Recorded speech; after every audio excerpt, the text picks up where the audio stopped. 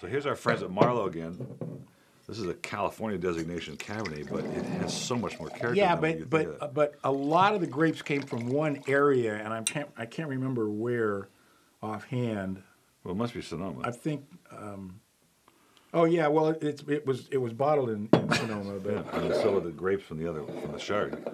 yeah, yeah. I think I think a lot of grapes did come from Sonoma in this one. Now the nose on this wine is a little brighter than what the actual palate tastes like to me. A lot more complexity than what the nose suggests. oh wow, this is an ager. You know, this got some this got Mm-hmm. some sock to it, but not socks. Make No, sure that, that you would be- understand the difference between would be, uh, socks and sock.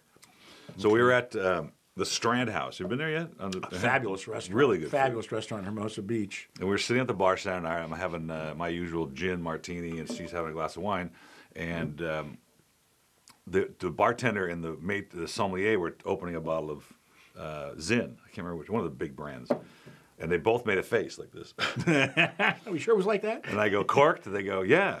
They go, how'd you know? And I throw my card. They go, oh, well. So then they started bringing us stuff to taste. Yeah. He goes, you got to taste this. You got to taste this. You got to taste this. Well, the sous chef there is a great kid that that that studied under Robert Bell at Chez Melange, and when he was 17 years old, his parents he really wanted he had a passion for cooking, and his parents sent him to Italy for a year and a half, and he he toured Italy cooking in different places. Wow, When he cool came back, he was telling Robert how to cook Italian food. That's really cool. And I'm telling you, it was the only time, and I've known Robert for 35, 36 years, I never saw him or heard of him listening to anybody, Yeah. especially some 19 year old kid, you know. but that's a cool experience, though, right? But oh, and I'll tell you, when he came back, God, could that kid cook? I mean, he was really something. that's pretty neat. and he's doing some great things at the Strand House. It's really a phenomenal restaurant, and it's a phenomenal looking restaurant. I mean, it's visually Well, the TI was like really expensive.